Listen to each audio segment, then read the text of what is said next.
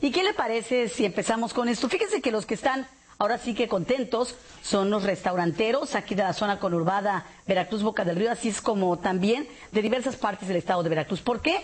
Pues mejoró su situación en este periodo decembrino. Vamos con Carolina Ocampo para que nos dé a conocer mayores detalles. Carolina, ¿cómo estás? Muy buenas tardes.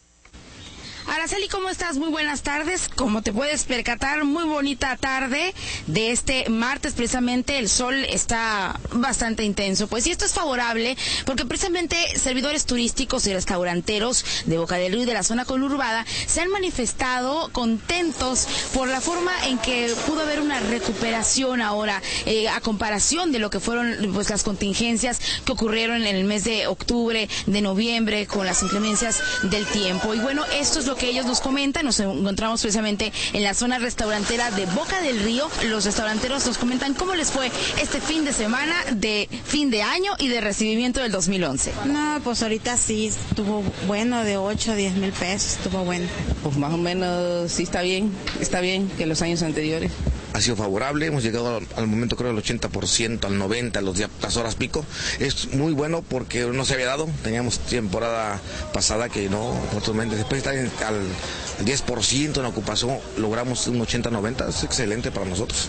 Sin embargo, ellos aseguran que Boca del Río da para más, que podría estar mejor con algunas aperturas de centros turísticos, de más centros de atención, para que obviamente llegaran más turistas a consumir a sus restaurantes. Quisieran algo con el sería los jardines, algo más turístico para que venga más gente. Pueden explotar mucho los manglares, que es, ecológico, es zona turística, no se ha explotado al 100%, creo que está en 20% de la explotación en esa zona, que es bellísimo, la verdad, muy bonito, ya hemos hecho el recorrido varias veces y hace falta ese, ese sector, el otro es la, la, pesca, que no tenemos un club de pesca, hace falta motivar a, a la zona. Bajo mucho turismo de Puebla, de Tlaxcala, de México, sí nos visitaron mucho los los turistas este fin de semana.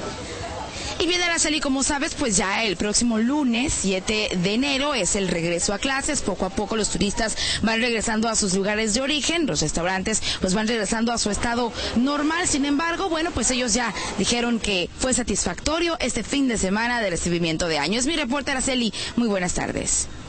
Así es, Carolina, ya ni lo digas, que ya el día 7 otra vez empiezan las carreras para llegar a tiempo a las escuelas. Qué barbaridad. Bueno,